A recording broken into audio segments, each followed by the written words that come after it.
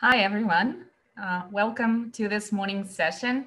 My name is Iryna Dronova. I am a professor at UC Berkeley, and I will be your instructor for today's vegetation analysis session. I'm really looking forward to it. Very quickly, I'm just going to stop sharing my screen to say hi to you all. Um, hi, welcome to the camp. Um, if you don't mind, uh, maybe you can um, type a quick message in the chat window saying your name, where you're from, and what is your level of comfort with ArcGIS Pro. One being not really well familiar, five being pretty comfortable in using for quite a while. Um, for example, I'm going to do the same for me uh, to everyone. So I am. Uh,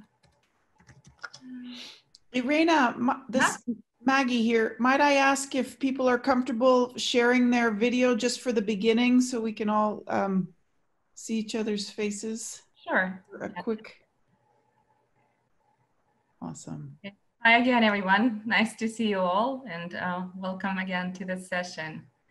Uh, people might still be joining, so I'm gonna wait just one more second before starting the slides. I hope everybody's doing well.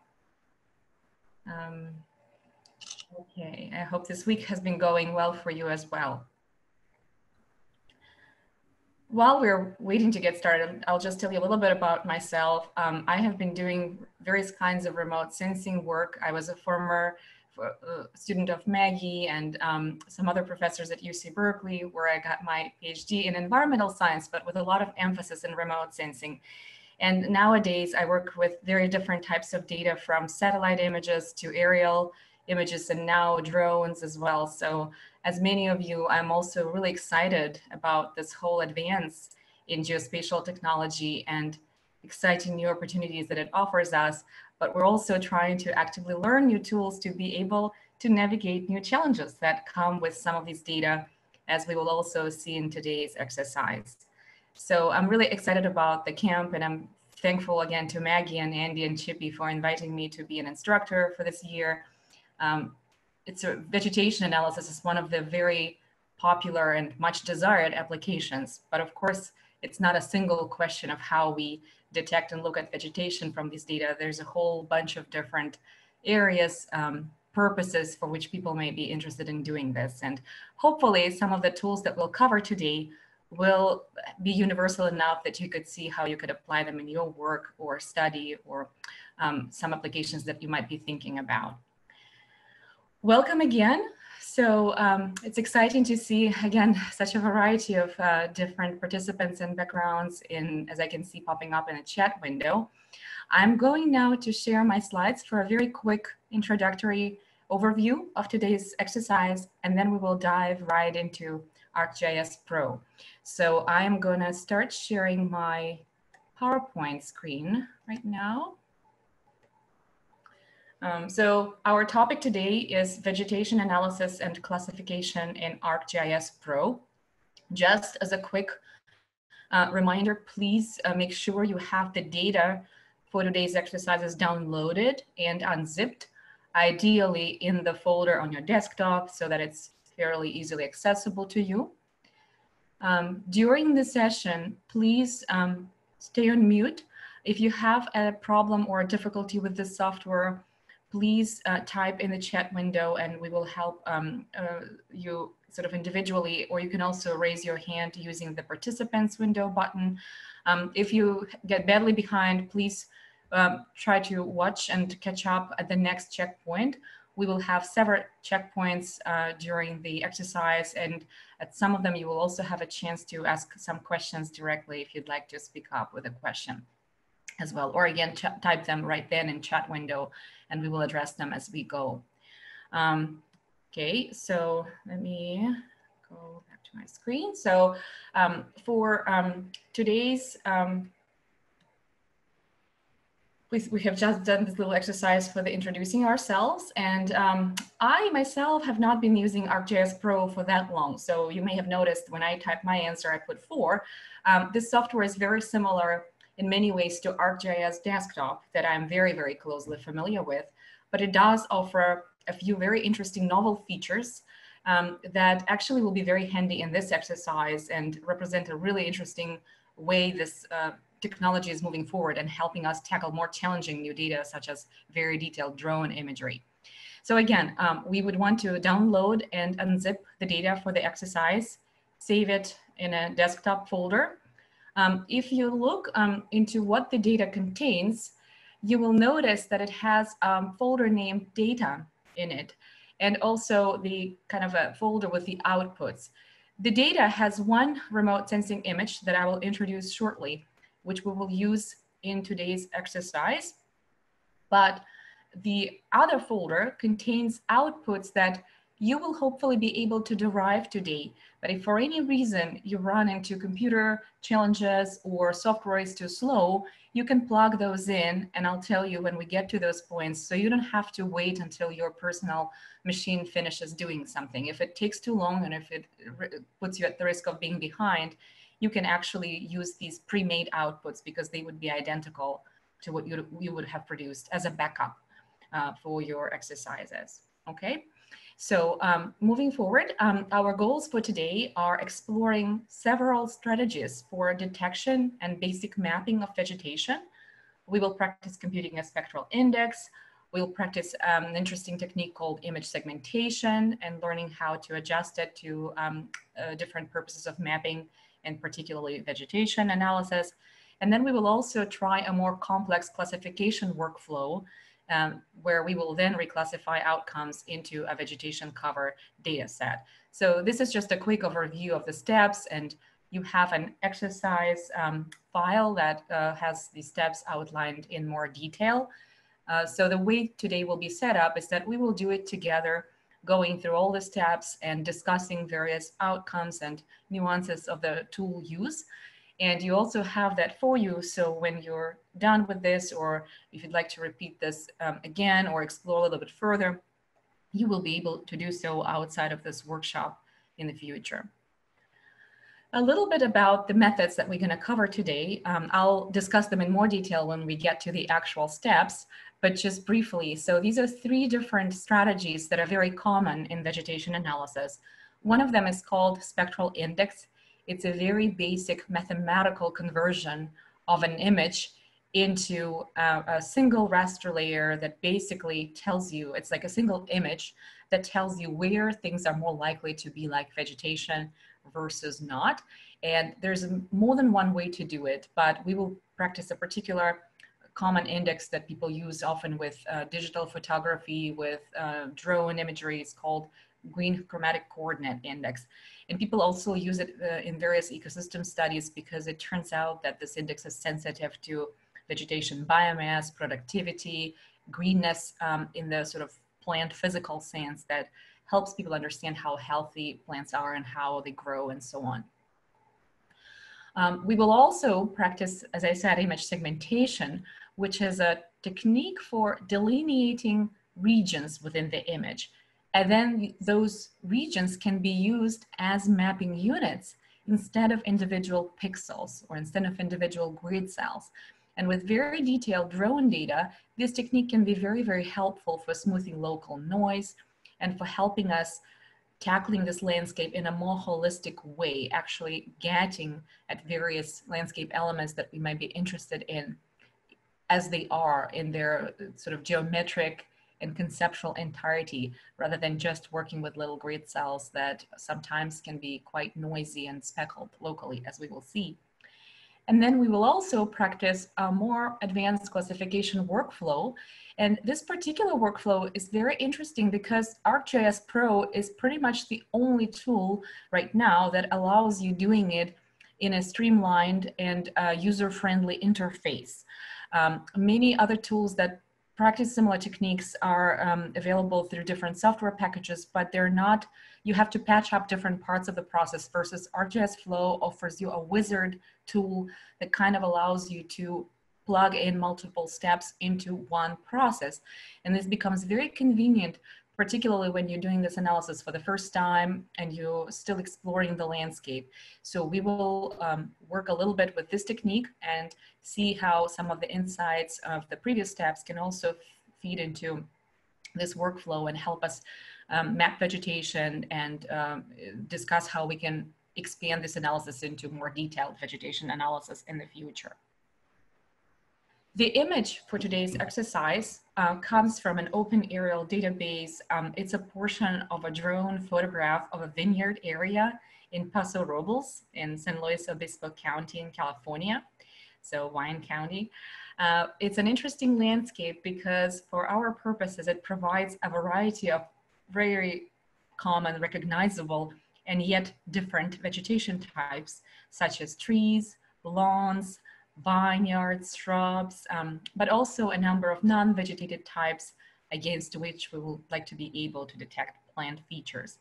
Um, and something else that's interesting about this landscape that will keep kind of popping up through the exercise is that it also has a few trees that are not green. Uh, this particular area here, as you can see, uh, has a, these two rows of ornamental trees. They're alive, they look healthy, but they have purple vegetation. You may have noticed similar trees in places where you live or work, and um, they are not exactly green, even though they're technically alive vegetation. So we will see how that can also affect our analysis and interpretation and how we can develop some workarounds when this may become an issue.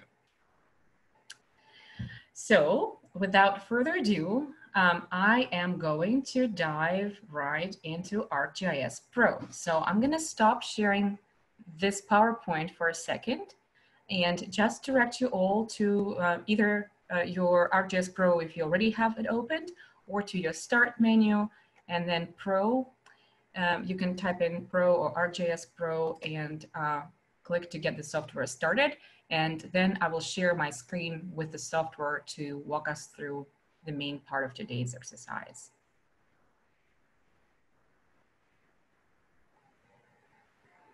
So now I'm going to share my screen with the Pro.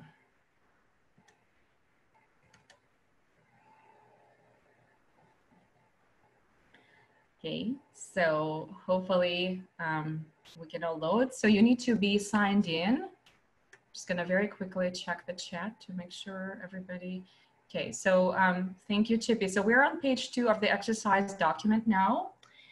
And uh, we will start as usually by creating a new project dedicated to this analysis. So um, if you are not signed in, please sign in. So you can see I'm signed in here on the, my top right corner. Um, ArcPro offers you a variety of options for how you would like to start. We would just like to start with a new blank template. Let's use a map for this exercise. So I'm just gonna click on this map and it gives me an option to create a new project. It's a good idea uh, to have a separate project for this exercise and call it something that um, you would be able to easily find later. So I'm gonna call mine veg analysis. Um, and um, keeping this check box checked, create a new folder for this project so that it stays in its own dedicated space. So when we've done this, I'm clicking OK. Oh, sorry. Um, well, I'll just do it. Another one. This this comes from my practice of, of the workshop workflow. So we're creating a new project here. And you should start seeing something similar on your screen. Uh, map um, interface coming up, gradually loading the data. So by default, um, on some of your computers, ArcPro might, similar to mine, load the topographic layer. Uh, this is completely optional. It just comes as a default option in the map in case you would like to see where you are on the landscape. It might sometimes slow down loading and processing um, due to the display demands. So I would suggest removing it. We could simply right click on it here in the contents pane on the left and say remove. We don't really need it because we're only going to be working on this particular locality of our image. Now we're going to add our data. So we go into the map tab on top of the ribbon here in the upper left corner. And we're going to say either we can do this pull down menu or simply click on this plus and it will I'll give you an option of adding the data. So we would want to navigate where we have saved the data for today's exercise. As recommended, I have it on the desktop. in my DroneCamp folder. So we're just navigating there. And um, the image that we're gonna be analyzing as the primary data set is in the folder called data. So if you navigate to what you've unzipped, go to that little data subfolder, double click on it, and there will be an image called vineyard rgbs dot TIF, TIFF. So it's a TIFF image, it's a raster layer, we just click OK, and we load it in. Might take a little bit of time, so we could wait for this to happen. UAV data have high spatial resolution very often. This particular image has spatial resolution of five centimeters. And what that means is if we're capturing even a relatively small landscape, the data is still pretty detailed. It's a lot of information that's packed within these very small five centimeter pixels. So it may take a little bit of time to load this in. Just quickly checking the chat window, okay. Yes, if you lost the um, tab contents for any reason, or uh, sometimes these um, side panels, the view here, uh, the view tab allows you to bring this back. So you can always uh, click to bring back contents or something like that to go back to this. So now that our image is loaded, uh, we can explore it a little bit. The first thing I'd like you to notice is that it has um, three layers here displayed in red, green, and blue channels of the computer display. I'm actually going to close this panel here on the right uh, for now. Um, and you can see here that um, the image looks very much recognizable. It's almost as if you yourself were flying above this landscape and observing it from the above. And this is because we have the data here, what is called RGB imagery, uh, or an RGB stands for red, green, and blue. Um, this image has three digital layers in it. Um, if you're familiar with the term raster, which stands for like a grid cell image data set, there are three rasters packed in this image. And we're displaying them here uh, in red, green, and blue channels of the display. But based on the nature of this particular photo, it also happens that the rasters, these three RGB layers in the photo are actually red, green, and blue, meaning that they represent brightness of the landscape, or we also call it reflectance of the landscape in red, green, and blue light um, from the main light spectrum. And that is very handy because this is exactly how our human eyes have evolved to see the world. Our eyes emphasize the reflectance of solar energy from different surfaces and landscapes, specifically in those regions, red, green, and blue. And therefore, when we display them in the red, green, and blue channels of the computer screen, we actually see the landscape the way we intuitively have evolved to see it as human beings with our human eyes. Sometimes um, you can have access to data or instruments that have more different layers of bands. Uh, they may have a reflectance, for example, near infrared, which our eyes cannot see, but it's another very useful type of data for vegetation analysis. But for today's exercise, we've chosen the RGB because it's very common. It's typically more affordable, so a lot more different cameras and instruments have it, including cameras on our phones um, and uh, security cameras and so on. And so it's quite easy um, to work with this data because intuitively we can recognize a lot of things and we can uh, do a quick check of whether our approach is working or not. But even with such data, we can still perform really interesting analysis to highlight presence of vegetation and be able to map it. So um, feel free to pan around, zoom a little bit in and out on this image. You can notice that um, um, this area here has a little bit more detail to it. There are trees, there's some water, trees, uh, shrubs, uh, lawns. A lot of them look green or greenish, um, and so do these um, rows of vines. One thing you can notice is that color is very important in telling us what vegetation is in this landscape. It's typically green. And roads and um, bare surfaces are more kind of brown, beige, gray. But in addition to color, we can see that vegetated features can also have more or less unique geometry and shape. For instance, a lot of trees here are either roundish or they're sort of in these um, elongated rows, clumps um, uh, that also have a characteristic shape. Vineyards are these very long features, so the vines are growing together, they're overlapping. Sometimes they have fuzzy boundary when the branches are protruding outside. Um, and so um, in addition to color, we can also recognize shape, geometry as something that help, help us at least visually tell vegetation apart from other cover types. Just quickly checking the um, chat. Um, so we can also um, uh, look into these trees that I mentioned earlier. They do look like normal trees, but they are a little bit purple. And so we will see what that can do to our ability to recognize vegetation features on the landscape. So um, how do we deal with this information? Uh, what is packed here? How do we go from an image like this to an indicator or a map or a cover? The first basic step to do so would be a vegetation index calculation. Before we calculate it, I'd like you to click anywhere in the image in a what looks like a green vegetated space, for example, this tree here, and when you do so, a little pop-up window comes up. So I'm just gonna do this again to be sure. Um, what you'll notice is um, that you see these values here. These are pixel values for that pixel where I clicked for each of the three bands, red, green, and blue, or layers or channels, as we call them here. And you could notice that if we click on green features, the green value is a little bit higher than red and blue. I just wanted to point this out because this goes back to the earlier notion that uh, different surfaces uh, interact with solar light and they do so differently. Plants are unique among other features because they utilize solar light for photosynthesis, for growth, for production of their biomass. And they particularly like doing so in the red and blue regions. They have evolved to particularly make good use of red and blue light. And therefore, they take a lot of red and blue light and they don't, don't reflect as much, but they do reflect a little bit more green. They also use green light, but less than red and blue.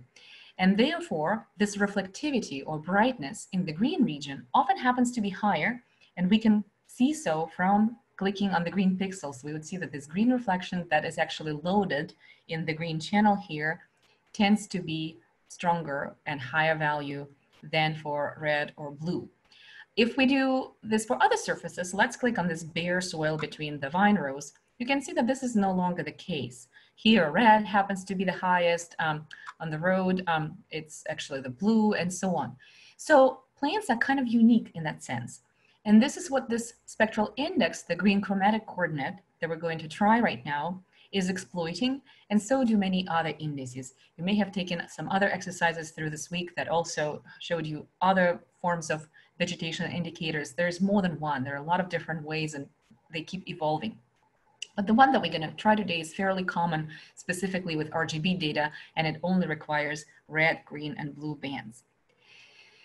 So now, just to orient ourselves where we are, I'm moving to um, the part 3.0 on page five of your exercise, compute a basic spectral indicator of greenness. In ArcGIS Pro, uh, we will have to use individual layers, individual bands to develop that formula. And we cannot do it from the image displayed like this composite. We have to load each of those layers individually. So we can do so by, again, going to map, add data. So clicking on our add data. And rather than clicking on this image, as we did before, we're actually going to double click to get inside this TIFF file. So I'm going to double click. And if you do so, you will notice that there are these three bands sitting inside that initial vineyard file. And we are going to bring all three of them together. And we can do so by clicking control or shift button here, like so. So you can see they're all selected. And now we can click OK. So you will notice that these values are now popping up in our contents pane here, three, two, and one. So if you'd like to explore them a little bit more, um, you can do so by clicking or unclicking them. Um, we don't need to spend too much time on this. You can notice how some of them, like for example, red band one, where plants do absorb light, actually plants look a little bit darker than, for example, in the green band and so on. Uh, but what's more interesting is how we can use these layers of information to compute a single index. And this is also practically more important. Rather than working with three layers at a time, can we compress this information into one layer, into one image or one raster that's more meaningfully computes um, vegetation values and kind of strengths of uh, something being vegetation. The values here, you can notice they range from 0 to 55. This is an artifact of the fact that we're dealing with what we call 8-bit data.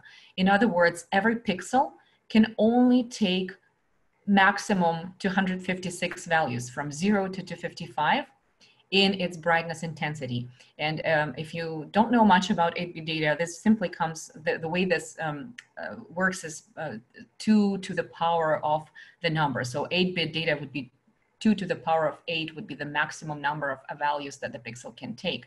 And this allows us to um, have some variability in possible gray levels inside the pixel. But what's most important about these values is that they represent the strengths of that brightness, the strengths of reflectivity from each pixel for red, green, or blue. And so the lighter these values are, like on the roofs you can see here in the buildings and the roads, the stronger is the reflectance. The darker they are, the lower it is. And because different surfaces interact with light differently, this will be reflected in these brightness signatures. And that's what our index is going to be taking advantage of as well. To compute the index, we are going to use a very handy tool called raster calculator. It's available through both image analyst and spatial analyst uh, toolboxes. Um, so what we can do uh, here is simply call for it from the tools. We're gonna go to tab called analysis here on the top above the ribbon. And the easy way in ArcGIS Pro is to simply click on this tool button, which brings up a search window called geoprocessing on the right. And we can simply click there for raster calculator. See, it kind of comes up from both image analyst and spatial analyst toolboxes. I'm gonna move this a little bit to the side. So we can just click on any of them. They're gonna be identical and the tool will load into this right pane. Again, takes a little bit of time.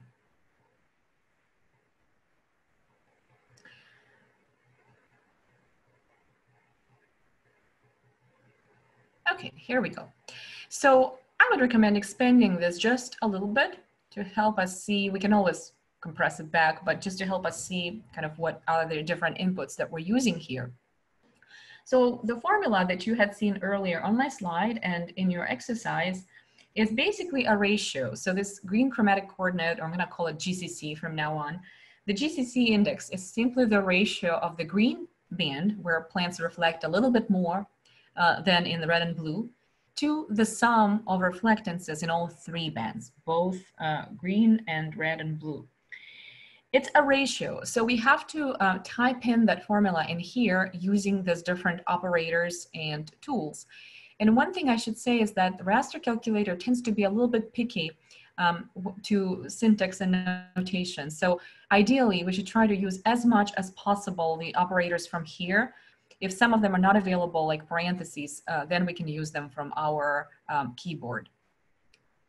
Um, so we can take a quick look. So we have in here in the rasters, we have our layers and we have these different tools. One other thing that's important for this exercise is that before we add our individual raster layers as inputs, we want to use an operator called float from the math menu. I'm just scrolling down here, this little scroll menu, you can see this float.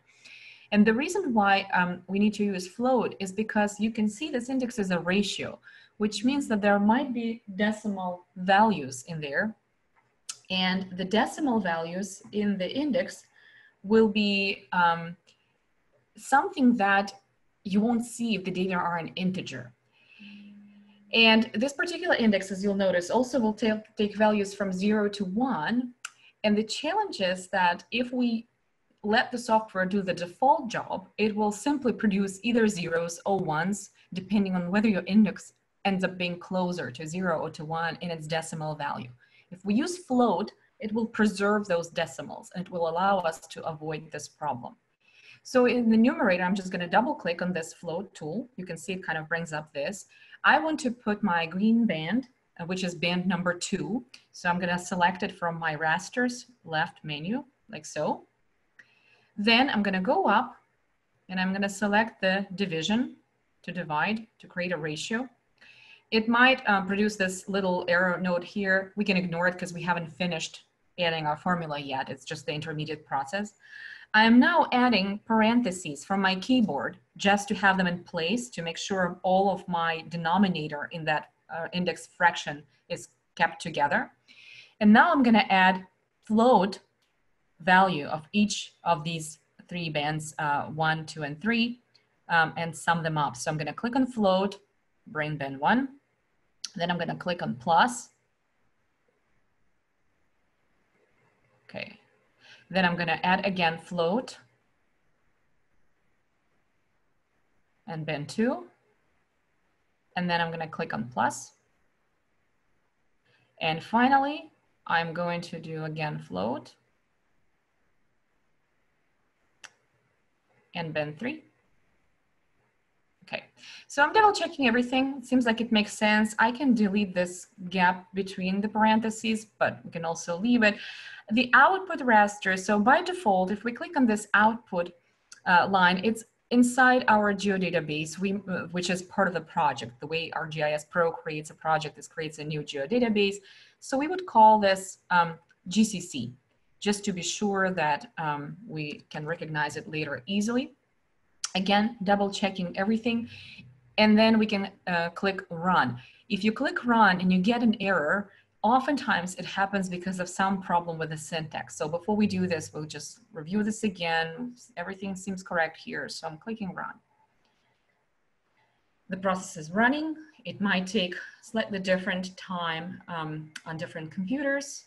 Hopefully, um, we can all get it to run. While it's running, I'm gonna very quickly look at the chat here. Wonderful. Okay, okay. So you can see something has popped up already. At this point, we can fold this geoprocessing panel a little bit back, or we can even close it if we want to. If we'd like to see the index in its entirety, we can go to contents, right click on the index in the contents and say zoom to layer to bring us back to the full extent. Right now, by default, it's grayscale from light to dark, and it's not surprising because it's just one layer now. So what we can do actually here is we can change its symbology to see the colors a little bit more clearly with respect to where we find vegetation and whether we have succeeded in getting closer to it with this index. You can also notice the values range from zero to one. So it was a good call to use float operation. Otherwise, we won't see these nuances. Everything will be either zero or one.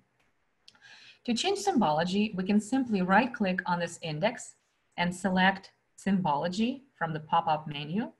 And it's gonna open in the place of geoprocessing. And at this point, we can keep pretty much everything as it is, except a color scheme. So for color scheme, we can choose some sort of um, two color palette, maybe with contrasting colors. In my example, in the um, exercise, I have this one, but you can choose whichever one you like.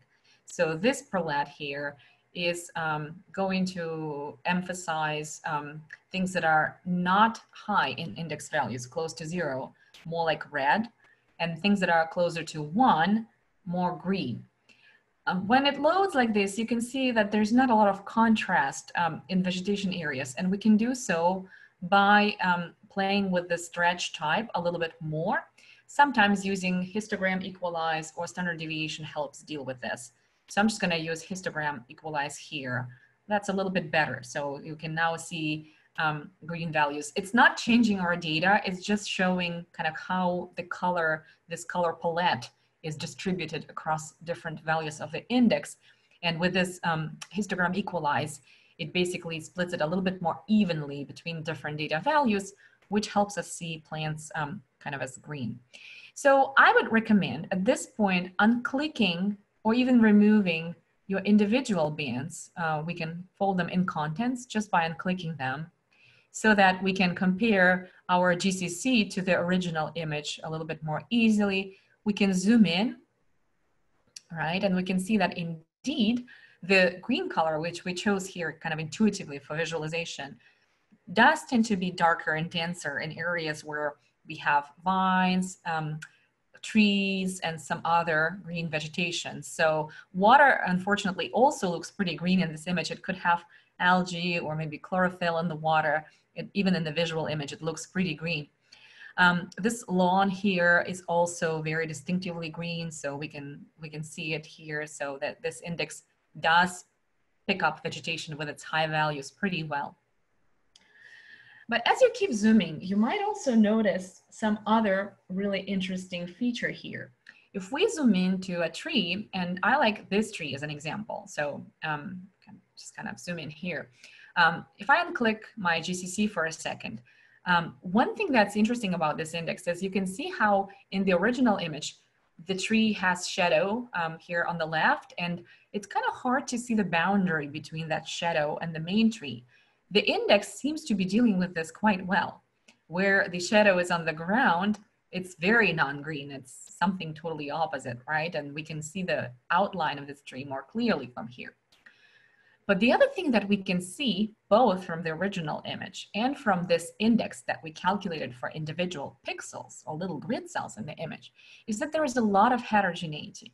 If we zoom in even further, we can see that there's a lot of speckle inside this tree crown of these GCC values where sometimes they're higher, sometimes they're a little bit lower, sometimes they're quite low inside the tree, like here in this gap, and that is not surprising because this tree does have some gaps in the canopy.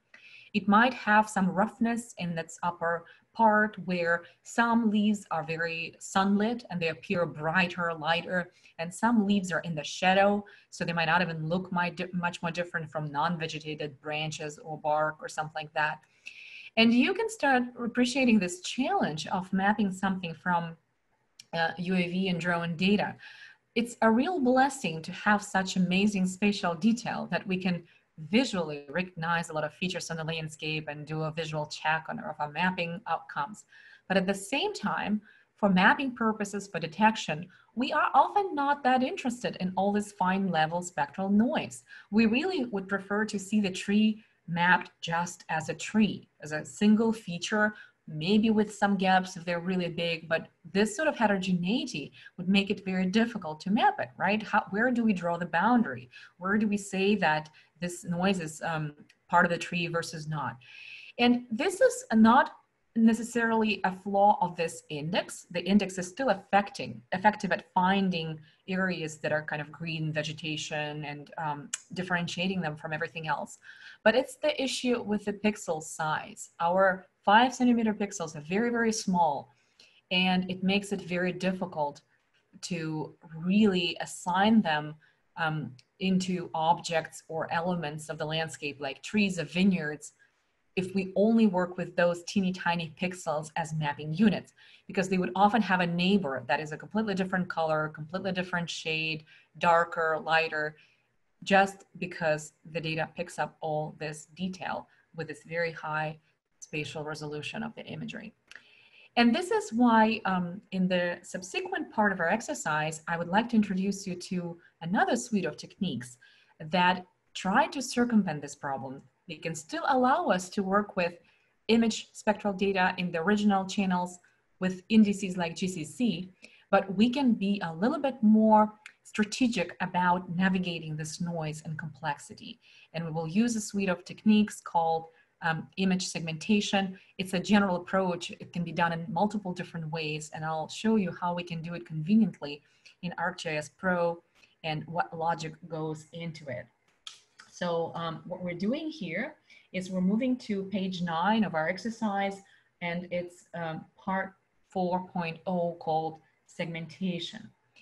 Um, one thing that I um, would say we should also do at this point is save our work. Uh, it's a good idea to do so repeatedly through the exercise to avoid losing it.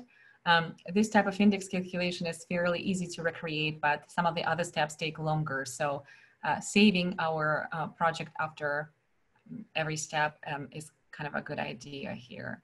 just uh, quickly finding. So um, some sometimes you may not find the exact color scheme. Um, just again, let me show you if you if you really want to follow very closely what we're doing here. It's if you scroll all the way to the bottom. So in this color scheme that comes by default, if you scroll all the way down to the very bottom, this one is one, two, three, four, five, six, I believe it's seventh or eighth from the bottom up.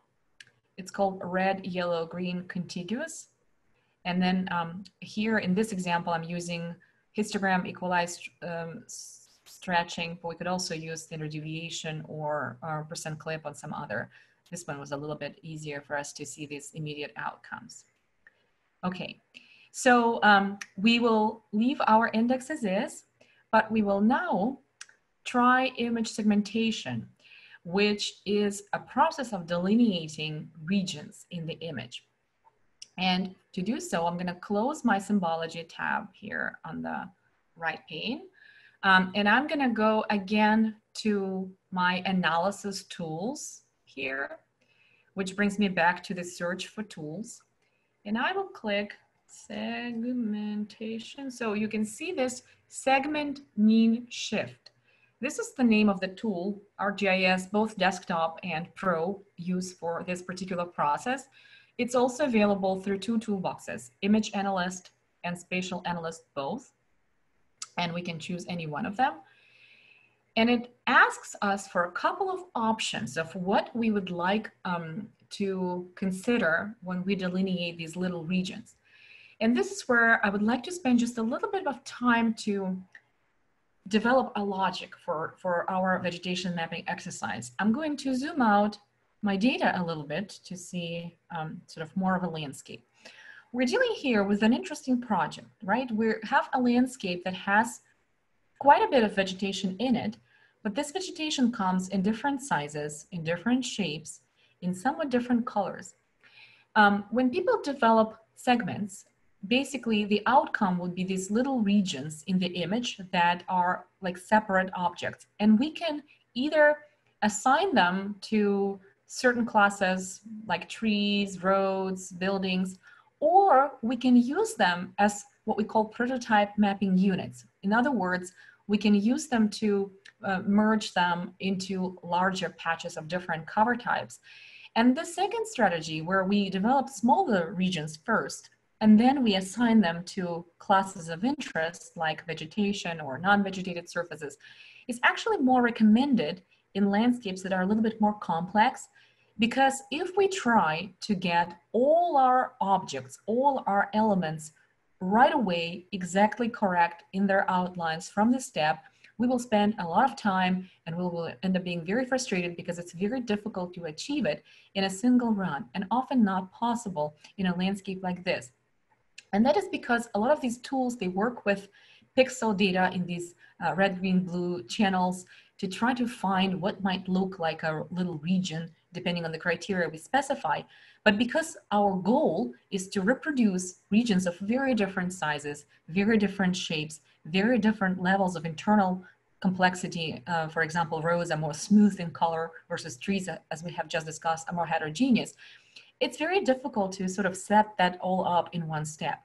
So our strategy here is to select this segmentation parameters so that we will end up having reasonably decent prototype objects or prototype segments. By the way, these terms, object, segments, regions, they're often synonymous and people use them interchangeably in this type of segmentation analysis. So I'm gonna try to stick to the words regions or segments, but if I accidentally say objects, it basically means the same thing. And here is how ArcGIS Pro allows us to approach this process. Um, it has three parameters called spectral detail, spatial detail, and minimum segment size. And these three parameters together, plus the selection of band indices, which are basically what layers from the image we want to use, will help us determine this outcome. And um, the way these values are designated, specifically in this software, is that spatial and spectral detail can only take the values from 0 to 20. And I'll explain shortly what that means. Uh, while the minimum segment size in pixels is how many pixels we want to have in the smallest objects. In other words, the objects should not be smaller than certain number of pixels. So first, um, let's specify our input raster. What we want to do here is to run segmentation on our original image. And so we would want to select our three uh, red, green, blue um, bands, but it's we can't select them separately here. So we should select the original image like so. Uh, for the output data set, again, by default, you can see it places it in our project folder. We can uh, say, name it something else. I actually, uh, I, I, would actually hold on on this um, just a second until, until we specify parameters. I really like to code parameter values in the name of the file so that if we do this multiple times, we can keep track and we know exactly what parameters were used in each index derivation. So let's just uh, pause here for a second. Uh, for band indexes at the very bottom, um, our image only has three bands. So we might just use all three. So I'm just gonna put one, two, and three, and it will tell the software to just use all three channels, uh, all three layers from, from the original image. Spectral detail. So the, these interesting parameters now, they're not immediately intuitive, but spectral detail, think of it as a weight. It basically tells you how much weight do you want to put on the color differences among various things you might be interested in mapping. Um, and the thing here is that we know that color is pretty important for differentiating vegetation from other things in this landscape. We don't have any artificial turf here as far as we can say, or we basically, everything that's green is vegetation. So we do want this parameter to be fairly high. And again, it's possible to put a value between zero and 20. But we also notice that sometimes inside vegetated features like trees, there could be pixels that are completely of different color and tone, but they actually should be ideally in the same region. And that we can help account for with the parameter called spatial detail as well. So spatial detail is um, a parameter that kind of tells you how much you would prioritize the proximity when you delineate your regions. And essentially, um, what it means is that if you have um, pixels that are um, pretty different, but they, they ideally should belong to the same type of entity, like within the trees where you have sunlit and shaded, it's a good idea to set that parameter higher because that would help kind of uh, create a little bit more um, sort of um, compact and uh, puts a little bit more emphasis on this proximity that would pull those pixels together in the resulting objects. So we can play with these. It's always a good idea to actually play with a number of different values before deciding what's best for your project. But for the sake of the exercise, we're just gonna set the spatial detail parameter to maximum, to 20. And we would say spectral detail high, but a little bit lower because again, we could have instances where we could have very different colored pixels um, or shaded pixels in the same type of entity like a tree. So I'm choosing here 15 and 20. And then for the minimum segment size in pixels, this is a tricky one because to decide how small your smallest regions should be, you have to consider two things. One is what is the target you're mapping? Are you likely to end up with a lot of really teeny tiny clumps of vegetation in your map? Is that something you're looking for?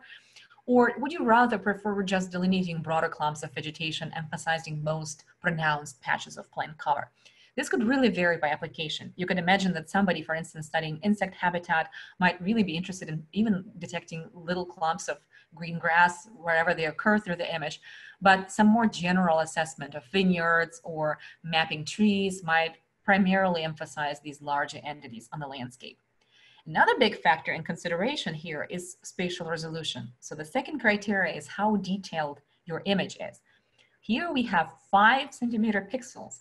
For most entities that we would like to map here, like trees or vineyards, five centimeters is a very small part of that. So really, we would not want to have objects with very few pixels in them because they would likely be just little patches of noise or spectral variation. So I would suggest setting this value for this kind of image high. Uh, in my example, I use 600. Potentially, it could be even higher, depending on, again, what exactly is the target. If we largely were interested in trees or vineyards, And even though vineyards here, um, the, the vines are kind of narrow, the rows, but they're long and they stick together. So there's still a lot of pixels in everything that we would call sort of um, patch of, um, of the vine here. So now that we've set our three parameters, I would change the name of my output data set to reflect that.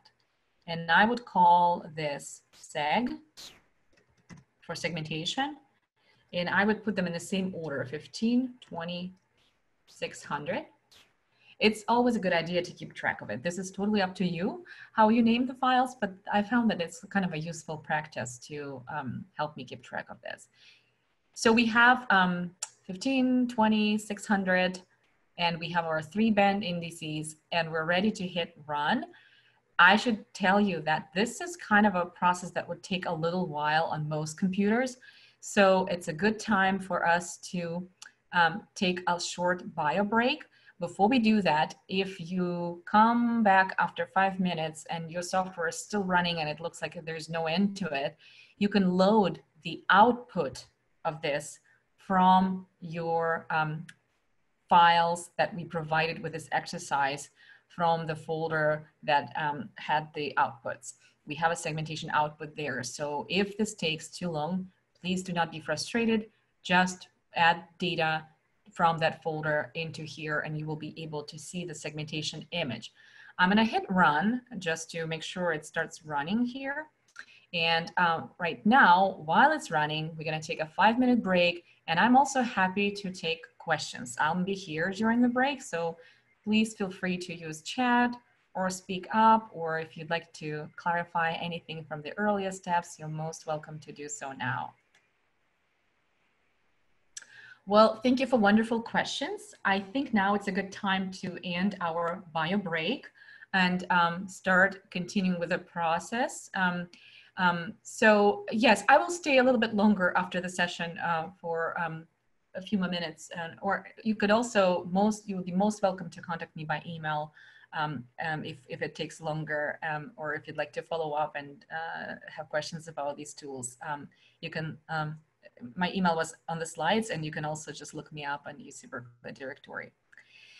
So moving on further, um, I hope your segmentation worked and did not create any frustrations for you. If it did, again, please go to the package that you unzipped from today's um, exercise and you will find the output called seg 1520 there and you can load it into your um, workspace. I'm gonna um, remove this, reduce a little bit my geoprocessing pane and zoom back to my segmentation image. So you should have now your segmentation image on top of your contents pane. And we see this as a grayscale image, which um, is a little bit counterintuitive at first because really we're, we're looking for regions here, right? What are the regions here? If we zoom in, we will notice that there are these clumps of different grayscale values and they sort of look like little regions there. So they, they sort of um, kind of um, seems like it did something. What does the value mean? So the value here ranges from my case and my screen from 23 to 252. Sometimes for you, it could be maybe from 1 to 254. It's somewhere within that 0 to 255 range. And it simply is what that is, the brightness value in the range between 0 to 255. This value is not really useful for us at all, unfortunately. I'm not sure why the software kind of codes it that way. I think it has to do with the 8-bit data. It's just computationally easier to do it. But what we really hope to get here is little regions within the image that we can use to extract information, to smooth local noise. If we're interested in working with our GCC index, for instance, we would like to have that GCC value computed for each little region, right? And to do so, that little region has to be unique. In other words, we would like that these objects, these segments, these little zones in the image, they all have unique IDs whenever they represent a discrete feature. Now, what happens with 8-bit data is because we can only take values from 0 to 255, in other words, 256 possible values, this will be a problem if our image produced objects through segmentation the number of which is greater than that. And oftentimes that would be the case, even in a relatively small spatial extent. So the risk here, in other words, is that the values shown here in the value field, they're not going to be unique. And if later, let's say we want to calculate mean GCC for each index, which we'll try one of the next steps, um, we can't do a unique objects mean GCC because it's going to grab whatever else little regions and zones have that same grayscale code here and lump them all together, even if they're not spatially connected into one category. We don't want that to happen here. So this is why we are able to have a workaround. And actually what we will do to circumvent this problem is we will take the segmentation image that the software produces by default, and we will convert it into a polygon vector layer. And the little polygons will have the same boundaries as these zones produced by segmentation, but they will end up having unique ID.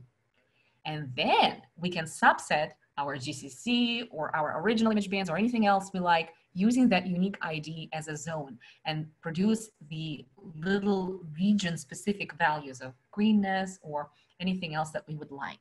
So without further ado, let's see how this works. And to do so, we need to use a tool called conversion, which is basically um, the converting um, uh, raster to polygon in this case.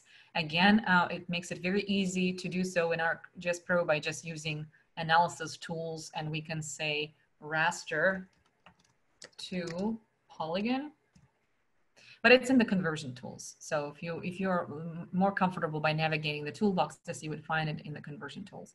So we're going to click on this tool, and here what we're going to do is as our input raster, we're going to use our segmentation outcome that was produced.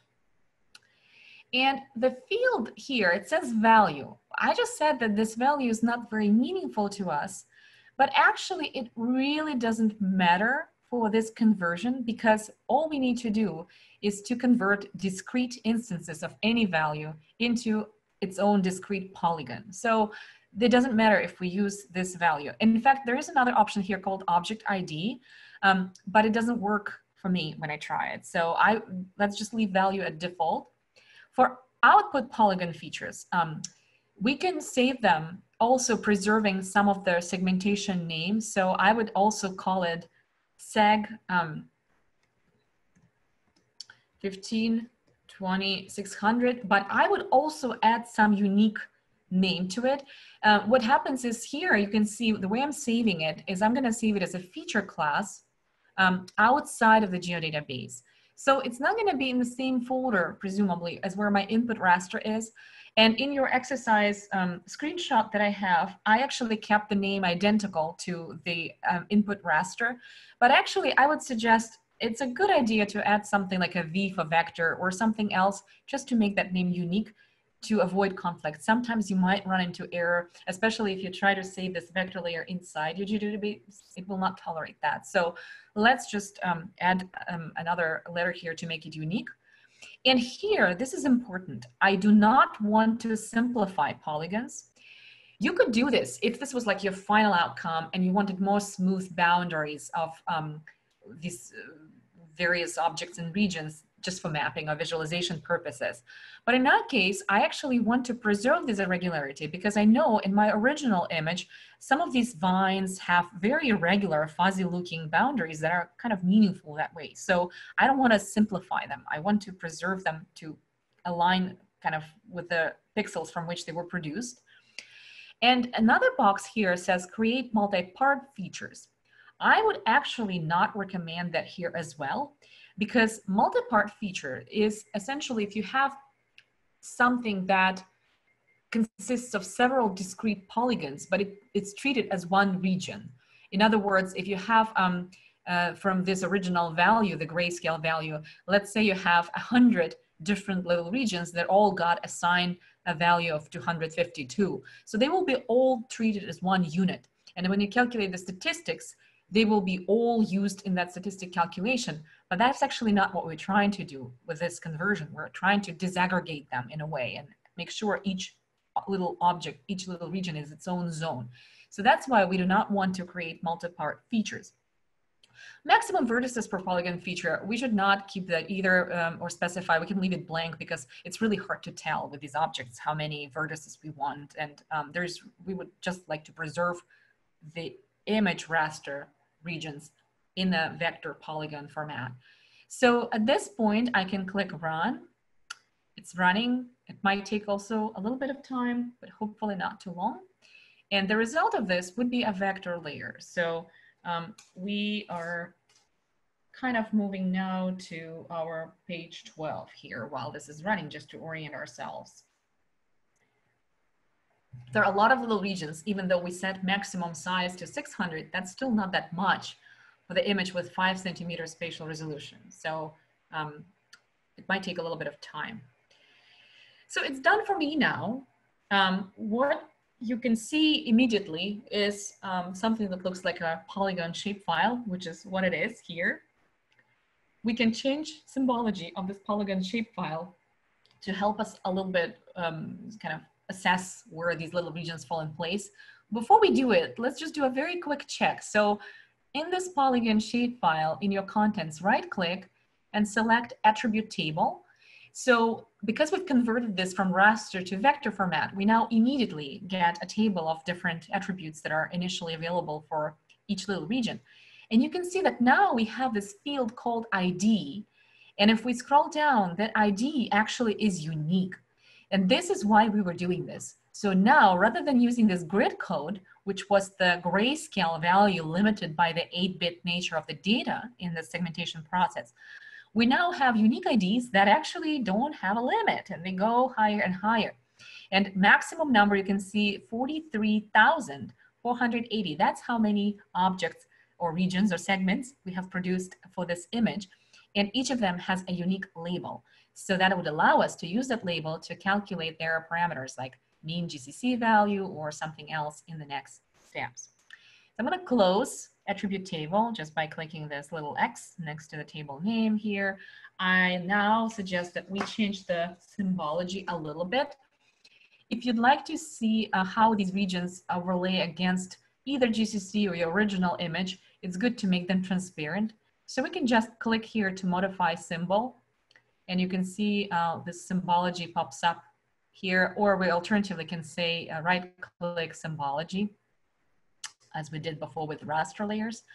And so for the single symbol, um, what I would suggest that we do is we can just make them um, something like this black outline here, uh, which is the first one that comes up in the menu, which will make them hollow with black boundaries.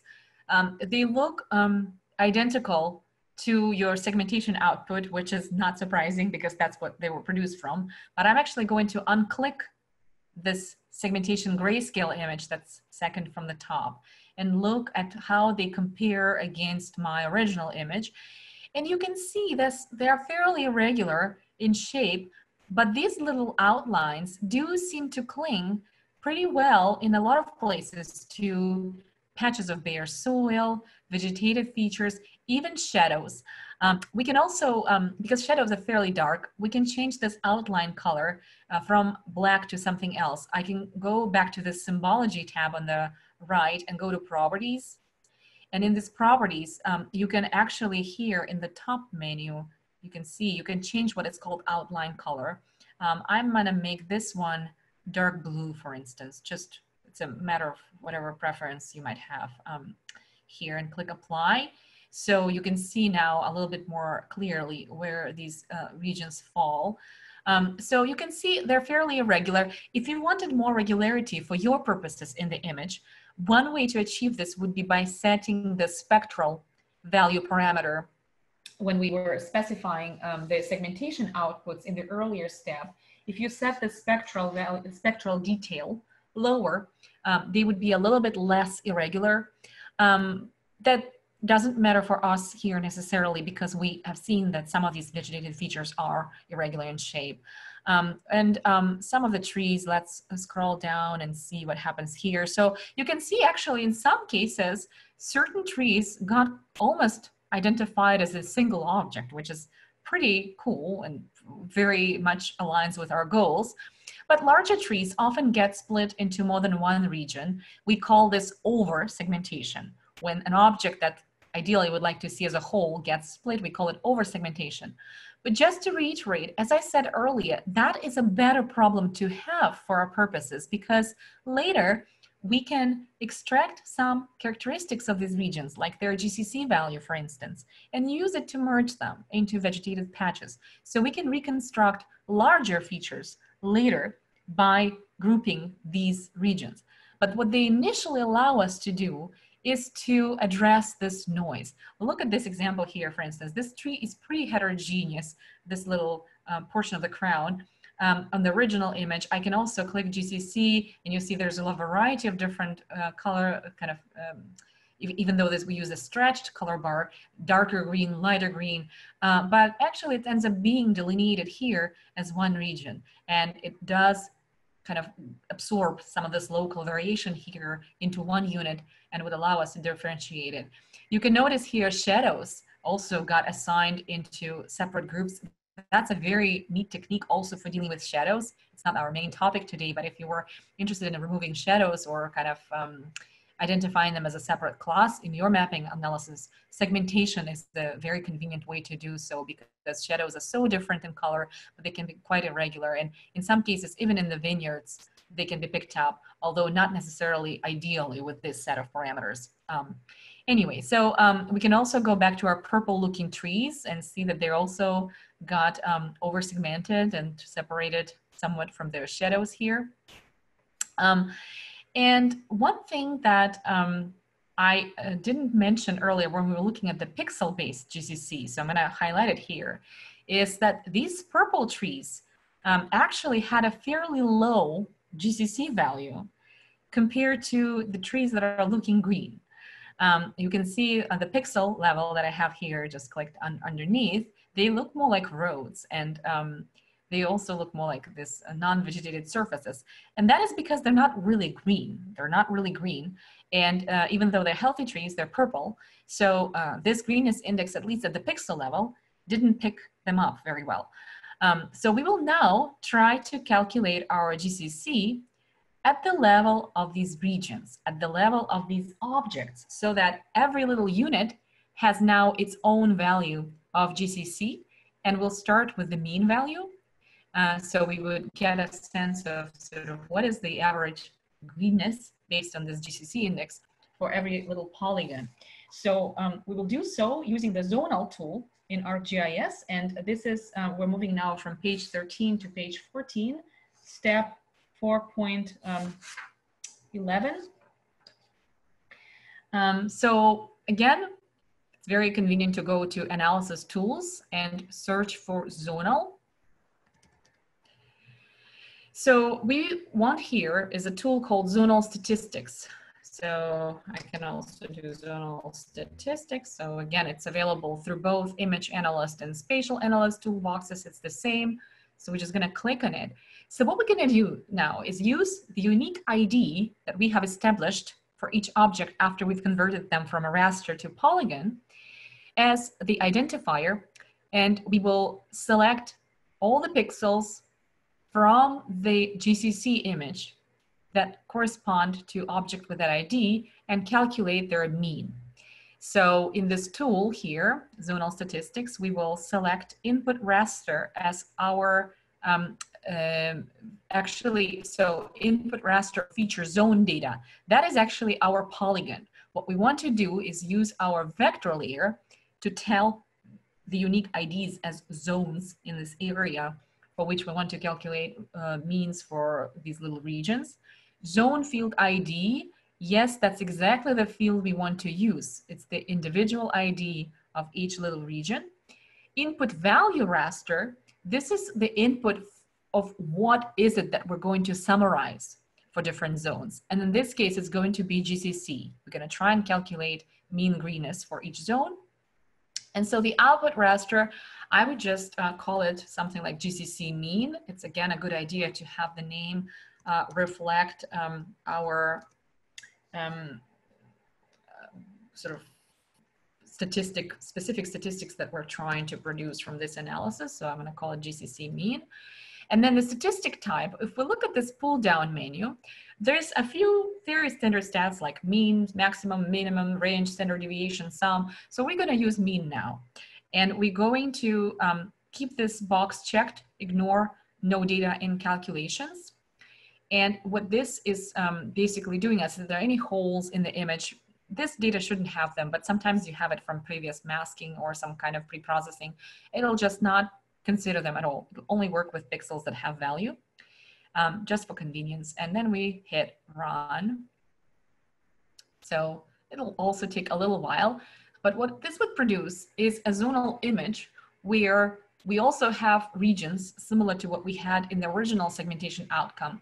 But now the values of pixels correspond to the mean GCC of the little region from which they belong. So this got loaded here right under my vector layer, this GCC mean, you can see in my table of contents. Um, I am going to um, not close my processing just yet, just sort of remove it a little bit to the right here. I'm going to right click and say zoom to layer.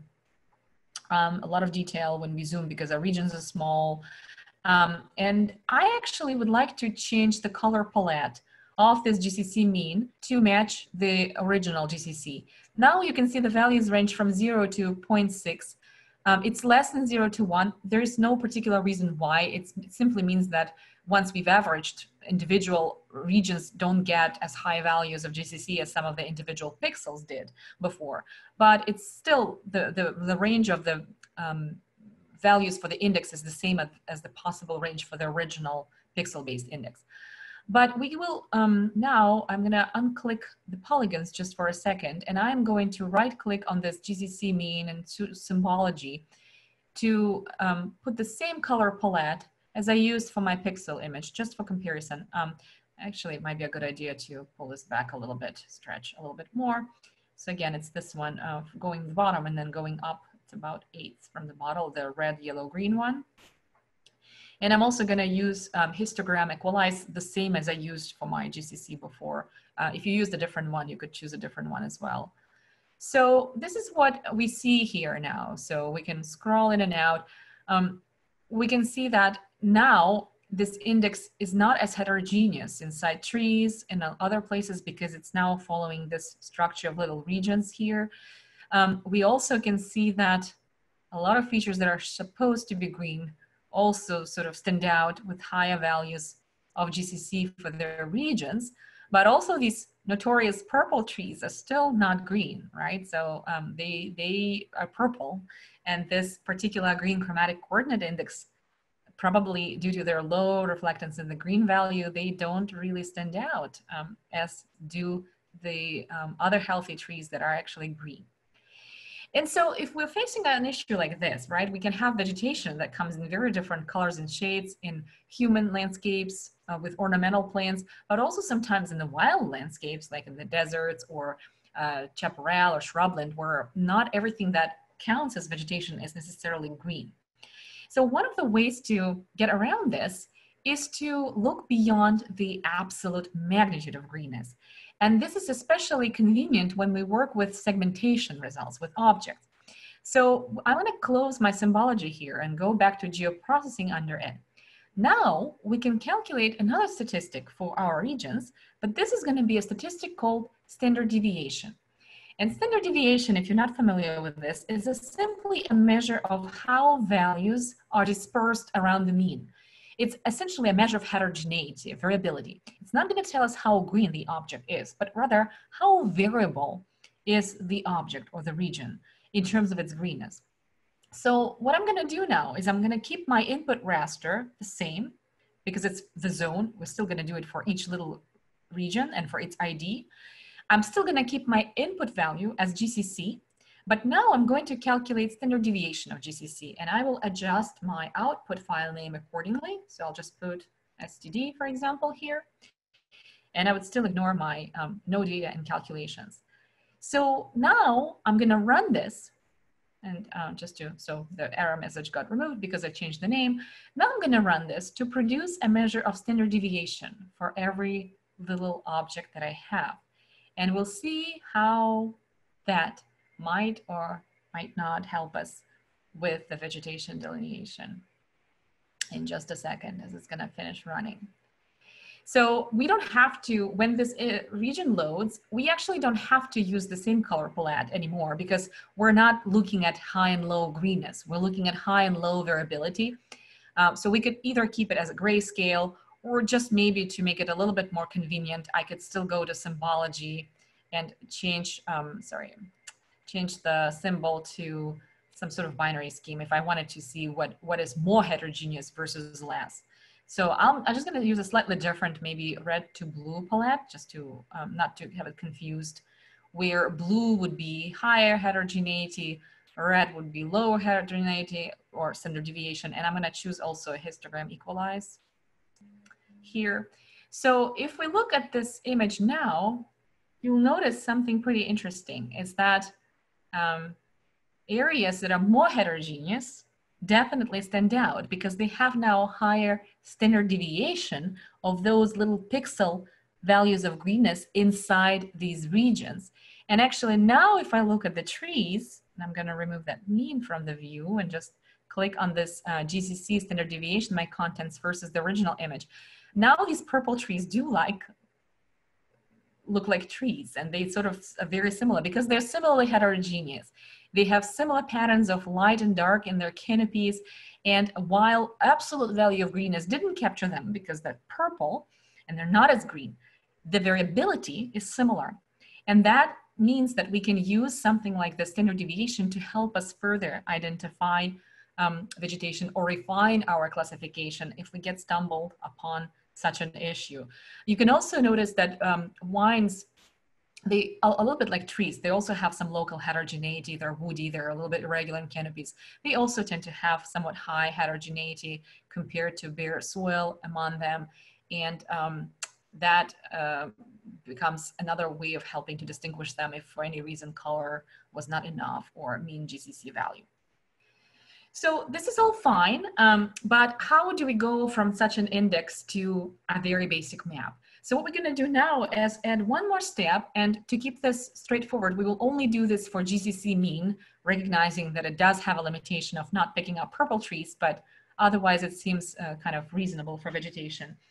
And we will do um, a very simple step where we will convert this GCC mean image into a binary image. Basically, you can think of it as a mask or a simple vegetation cover map uh, that rather than dealing with this continuum of GCC values, it will simply tell us, is this vegetation or not, based on some criteria. Um, and the simplest way to do it is using a threshold. Um, now, to determine a threshold, um, we would have to look into a little bit into how these values are distributed because a threshold would basically be a way of saying if some values of GCC mean are greater than this, then we're gonna count them as vegetation. If not, then we're not gonna count them as vegetation. And oftentimes it's a very difficult thing to find a single threshold that satisfies the whole image it's a little bit easier to do it in this type of environment where plants have a good contrast with other surfaces. It's also a little bit easier when the image is smaller. But um, just to show you how this works, uh, what we're gonna do is um, we're gonna right click on our GCC mean now. And uh, you can see if you have the symbology open, it automatically will switch to that. If not, we can click on its symbology um, from the right click in the contents and choose symbology. And we would come here right? And um, in here, rather than um, using uh, this primary symbology, rather than using stretch, which was simply a way of visualizing things, we will now say classify. So actually we would go to this little classify menu. This is still a way of visualizing, but it'll help us find a threshold through this fairly simple visualization exercise that then we can use to formally convert this image into a vegetation cover map. And so here, uh, we only want two classes, vegetated and non-vegetated. So I'm gonna change the number of classes to two from five. And the method called natural breaks is a very convenient method that looks for sort of natural changes in the value range and distribution. And in this kind of image, we would expect that a lot of pixels will be like vegetation and a lot of pixels will be not like vegetation. So there should be a fairly good natural contrast. And so when we do this, um, you can see that here down below, we only have two classes and um, yellow and red, and they already have a threshold that the software had identified as a potential kind of separation of these two classes. So to see this more easily here, I will click on this color, on this yellow polygon, and actually make that no color for the low values. And what that would do is if I have in my map here, my original image under this GCC mean image and everything in between unclicked. If you don't have it, you can take a second and unclick. We see where this red, which corresponds to values that are higher than a certain threshold, where they fall in this image. Um, and this is kind of um, a little bit confusing the way it's set up in the um, in the pro menu. But what this means is all the values that are greater than this 0.345882 are actually going to be coded red. And you can see right away whether this is enough or not. It seems like um, it's missing a little bit of some vegetation in the vineyard. So maybe we could use a slightly lower value like 0.33. Um, another thing we can do is we can click on the original GCC uh, image here or on the uh, GCC mean and simply click using the pop-up window to get a sense of what the values were in vegetated areas and not. So I'm gonna zoom a little closer. If I click, for example, on the vine here that was missed, it's also 0.34, but it's a little bit less than 0.345. This particular index has a really interesting kind of nuanced uh, range of values based on the ratio of green to green, red, and blue. So what I'm gonna do now is I'm gonna take a bit more, um, a slightly lower threshold to allow for more, some of these missed clumps to be included and uh, take a value like 0.34. Um, I could also, um, I could change it right here or I could switch this to manual interval as well, um, if you wanna try that. And that way this becomes um, editable. And I can set this value to just 0.34. So now you can see if I do this, so what I did here is switch the method to manual interval, and then I edited this upper value in the top box to 0.34 without further digits after that three, four second decimal. So now a little bit more is included and I can zoom out. Um, so we're gonna use this as a mask for now to try and develop a vegetation cover map. And to do so, we can use again, one tool called reclassify. So if we go back to analysis tools here in geoprocessing, I'm gonna type reclassify. And it's um, also available from two different toolboxes, 3D Analyst and Spatial Analyst. Um, it's the same tool again. So what we're gonna do now is convert this GCC mean image that had values in the range from zero to 0.6 into a binary image that only has value one if it's vegetation and zero if it's a non-vegetated area based on this threshold 0.34 that we have identified. And you can, in your own exercises or your own applications of this, you can always play a little bit more with these threshold values and um, sort of find something that suits best a particular study area. Different indices, by the way, might have different threshold values too. For GCC, we found this value for this image, but in some other um, type of um, index or in some other type of image, that value could be different as well. So what we're classifying here is our GCC mean image. So we're gonna uh, use that as an input. Um, reclass field value, that makes sense because the value here is the value of GCC that we're gonna use as a basis for this thresholding. For output raster, uh, we can call it uh, some, some sort of uh, reclassification output. I'm just gonna call it GCC green features, or you could call it GCC veg. So uh, we've modified that. And so then to actually enforce this threshold, we're gonna click in this reclassification. If you double click, it's gonna start allowing you to edit these fields. So what we're gonna say is that everything that starts with the zero and ends with point, oh, sorry, or 0.34 the new value will be zero. We want everything low to be zero, non-vegetated. Okay, and then I click on this new here on the zero and I hit enter and that's gonna give me another row in this little table. And now I'm gonna say that everything that is from 0 0.34, and I'm just gonna add a few zeros and one here, just like a super tiny next value. And to maximum, so I'm gonna use maximum of one from the original um, GCC raster, but you could also use 0.6 from the um, uh, raster that we produced after getting GCC mean for the polygons, whatever is the maximum value. So this index is only bound by zero and one, so it makes sense to use um, either one of them here. And then the new value would be one. Um, so that would be a different code for vegetation. Um, change missing values to no data. We could certainly do that. This is optional. It's not, we don't have a lot of missing values or no data here. So uh, we don't have to do this. Or if you wanted to, you could keep this checked. Um, and you can also see that it actually does give you no data, whatever was no data in the image will be preserved as no data by default, and we would like to keep that as well. Usually this is when the image is not um, regular rectangle, but has sort of no data value outside of the boundary. If it has regular overall spatial extent, um, it's a good idea to keep that so it stays as no data. So now we're ready to hit run. I'm gonna hit run. Um, and what this will produce is a binary raster where um, everything that has a value of zero corresponds to what we've decided to treat as non-vegetated features. I'm gonna uh, slide this over for see a little bit better. And then vegetation is uh, what has a value of one. Uh, we can save the symbology. We can do, um, um, we can change symbology if we wanted to modify it. We can export it. We can preserve it within the file. We can sort of um, do whatever we would like to do with this.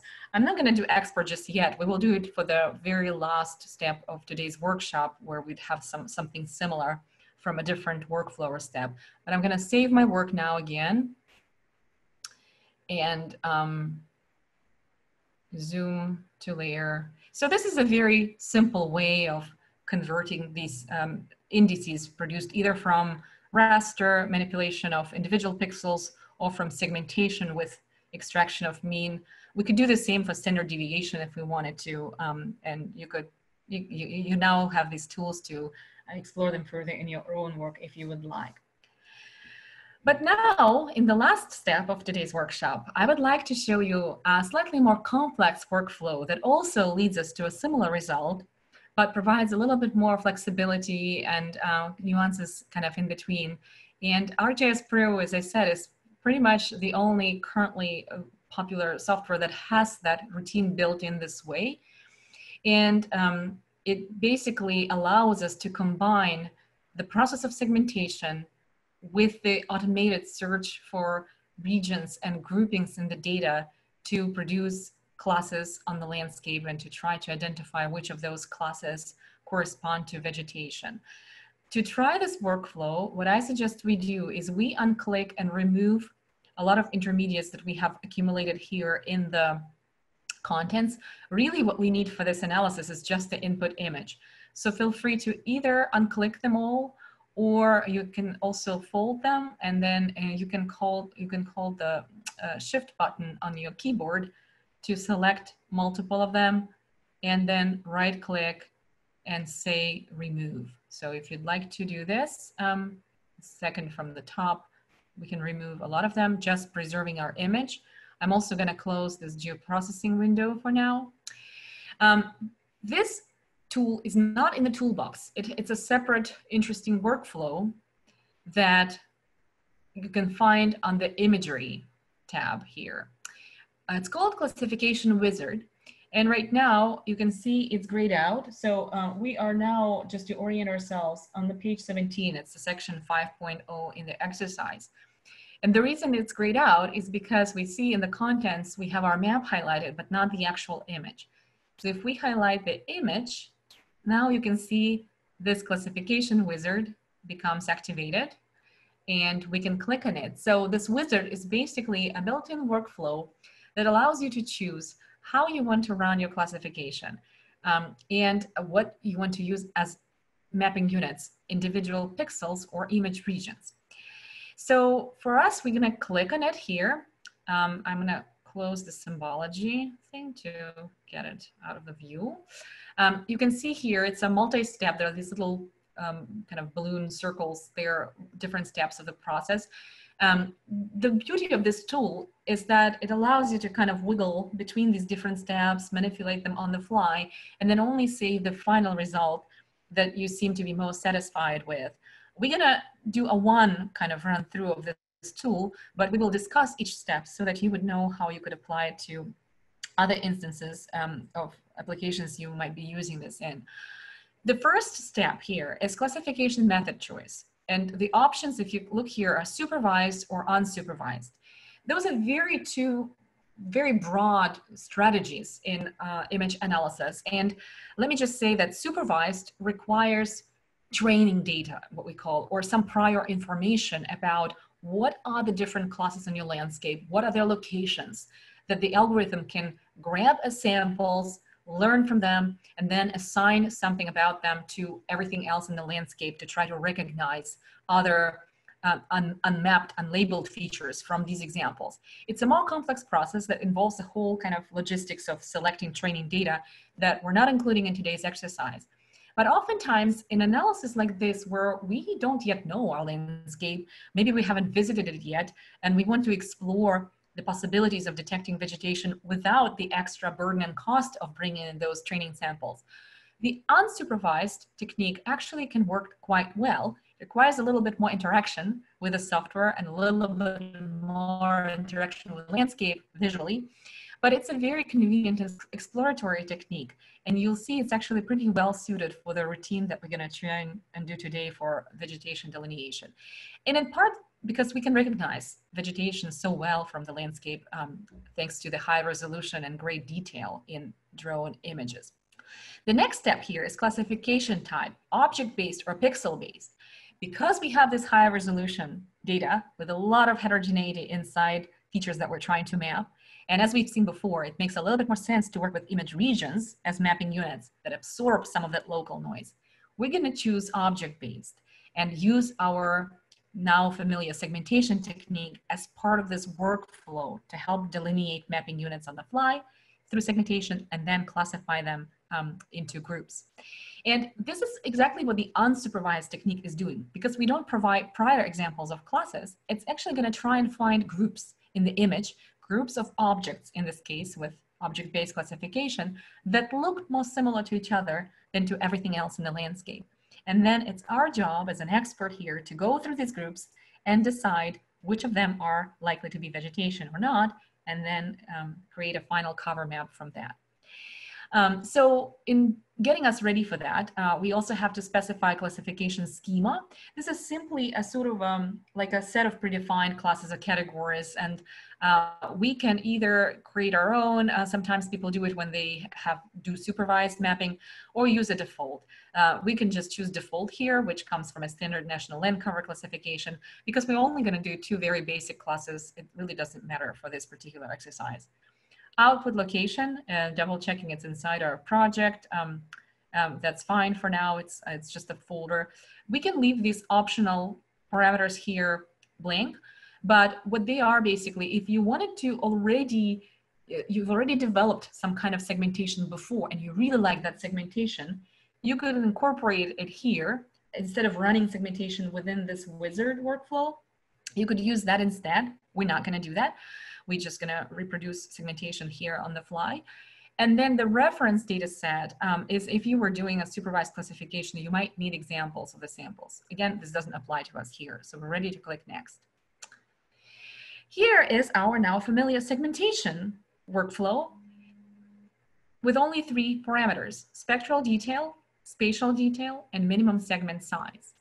So I suggest that for the sake of today's exercise, we use the same ones as we used before, but I want to tell you that this is a great um, wizard workflow where you can actually play with different ones and fine tune them here. Before you produce your final map, before you produce your final outcome, you can go with this previous and next and see whether these regions even like maybe they're too small right away, that's way too over segmented, or maybe they're too large and it's just not gonna work because they're already lumping vegetation with something else. So this is a good place where you could explore it. And you can, if you wanted to only think about boundaries, you could check this show segment boundaries only. You'll see what this does um, for you in the image. We're gonna zoom in a little bit if we go to next here, um, after a while, it might actually even show up the, um, it might show us these region boundaries here by default in black. You can see here, there's nothing in the contents. It's not producing a segmentation layer, but it shows us what the software would see in this workflow as region boundaries. And you can see it's actually quite neat uh, here and corresponds to vegetation clumps pretty well. Um, if we didn't like this, we would go to previous and play with those parameters a little bit more, but I'm gonna just keep it as is for now.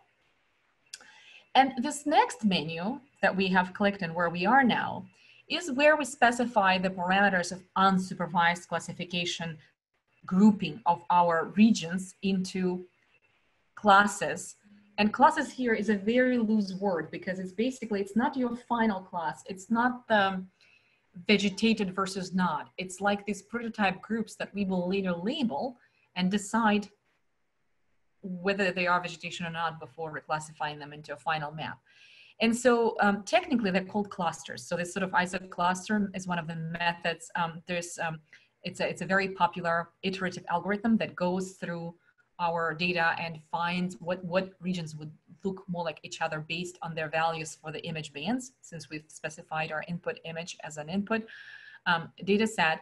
Maximum number of classes here, again, this is not the final number of classes, which in our exercise is two, vegetated and non-vegetated, but this is like the class that would be candidate for vegetation and non-vegetation. And it's always a good idea to have a slightly more of these initial maximum number of classes than the actual classes you need. Because if some of your target cover types are very heterogeneous, you might actually have several different groups that you will label as that class later and merge rather than having the software be kind of stumbled upon um, trying to find a group where something is extremely, extremely heterogeneous. So because we're only mapping two classes, for this exercise, I'll leave this as a default five, but generally it's a good idea to leave a little bit more room. If you were mapping like, let's say three or four or five classes, you might use something between like 12 and 20. Um, the more you have, the more you have to label later. So that becomes a little tedious and there is a time cost to it. Maximum number of iterations is how many times the software will go through the groups to reevaluate how tight they are, how similar they are to each other and different from the rest of the landscape. If you choose this number to be very small, um, it may not arrive at the best grouping yet, but um, if you choose it to be very large, it'll take a while to run. So um, I think for the purposes of this kind of exercise, somewhere between 10, 10 and 20 should be okay. I'm actually gonna um, leave it at 20 um, by, by default here.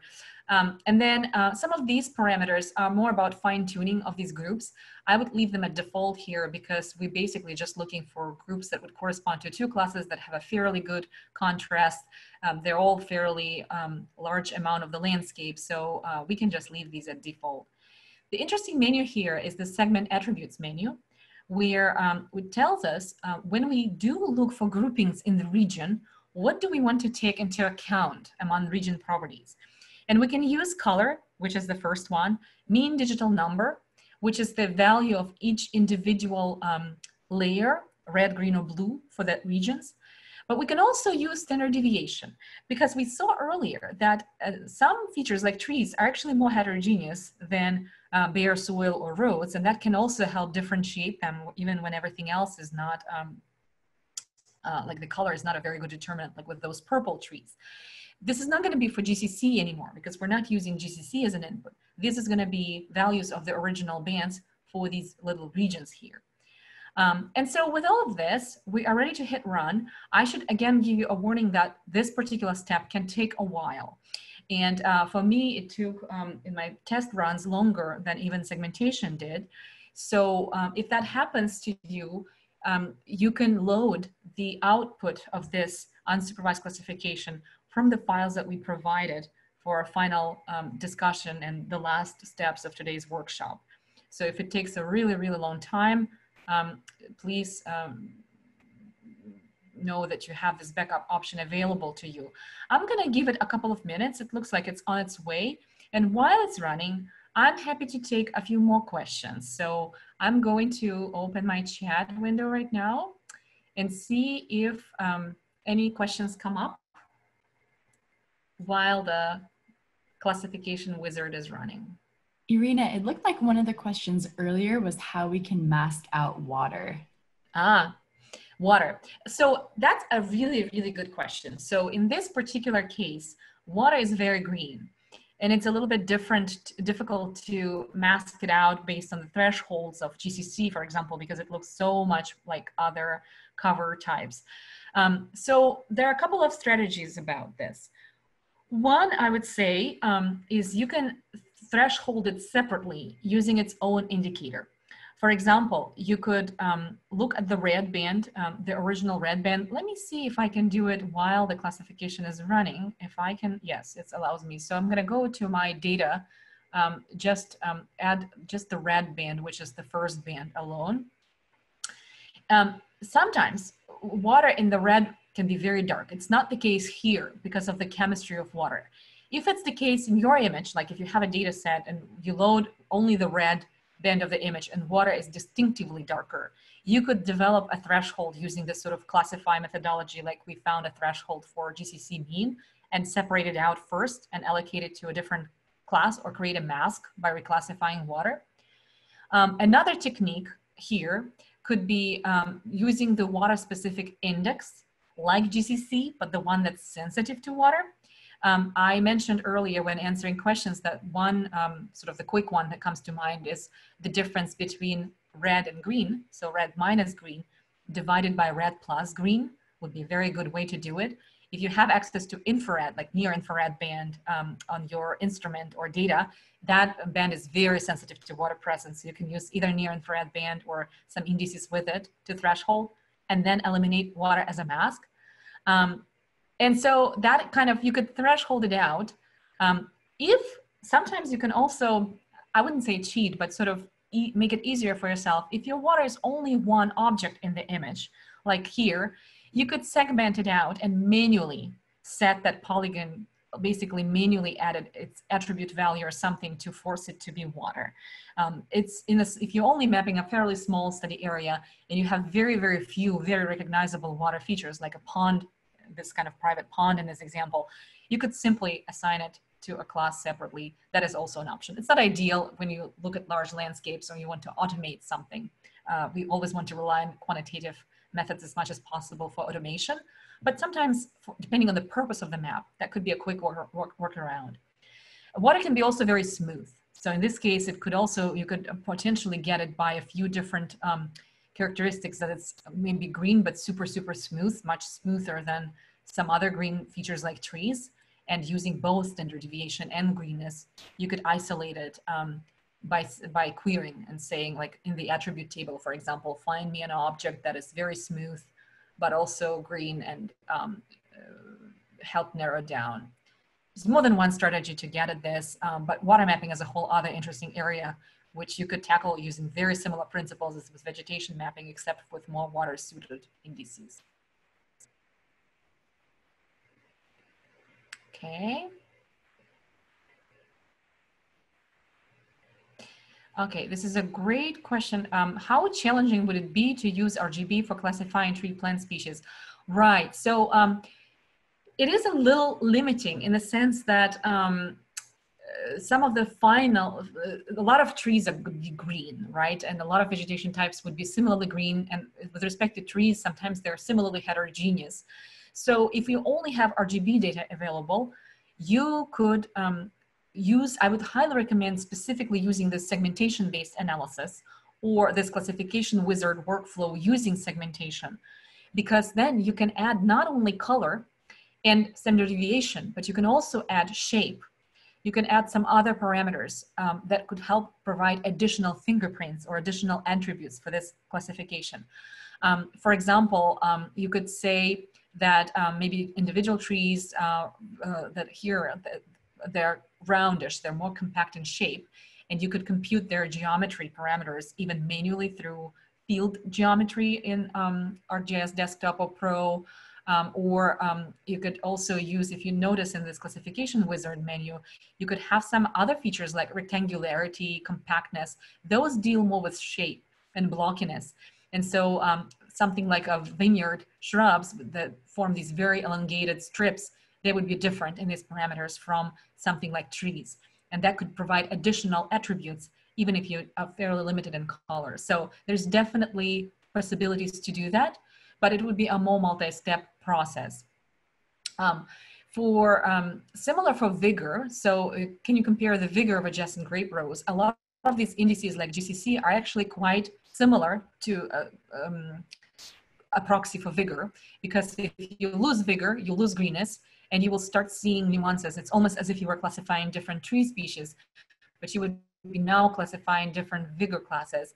And you could either approach it as a classification problem. So you could basically sort of stratify, break down this GCC palette into different vigor classes, or you could numerically relate. If you have measures of vigors on the ground, you can develop a simple like a equation or some simple mathematical model relating sampled locations um, with grapes um, corresponding to different vigor levels or classes to their GCC values from the image if you have them GPSed and you have the exact locations of them.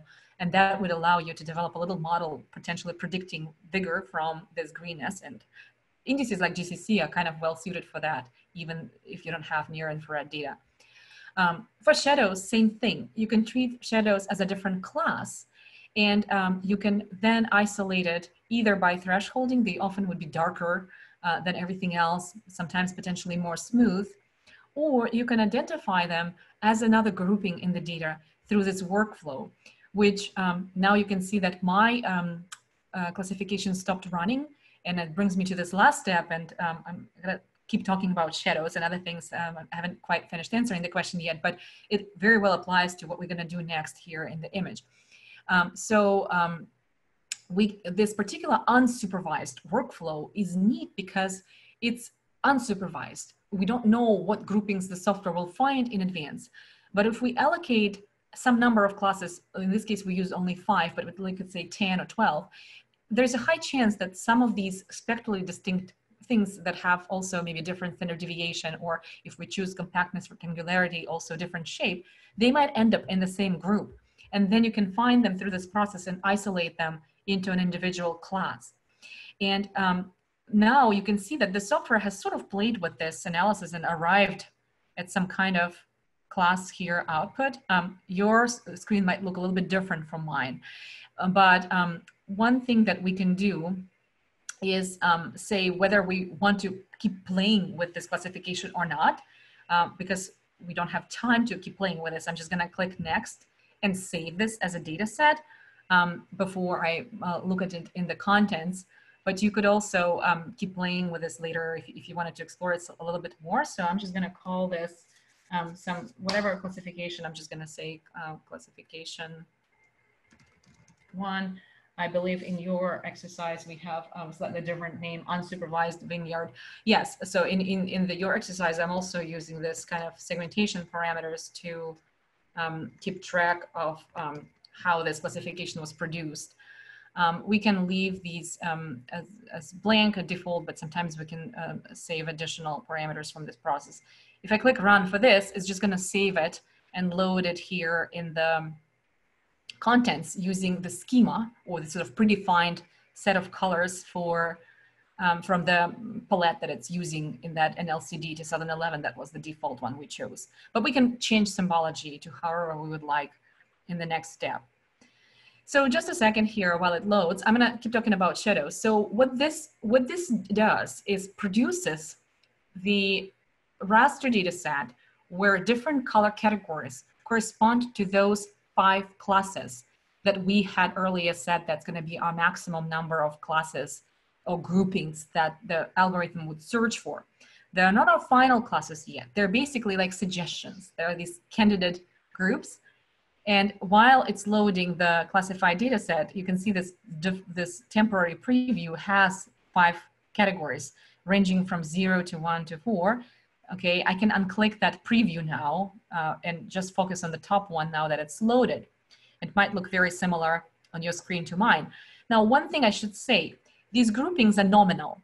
In other words, you, when you run this software, will also end up having five of them, but where they fall in the landscape with those colors might be different from what they look like on my computer. So you would produce very similar map, but when we look at these classes, when I say In my case here, for example, class zero, which is this paler cyanish green, is obviously the non-vegetated. It's like the uh, roads and everything else. I'm gonna unclick intermediates for you to see. Uh, but actually, um, it may be not zero in your case. In your case, it could be number four or number three. So please keep that in mind for this exercise because um, every computer is a little different.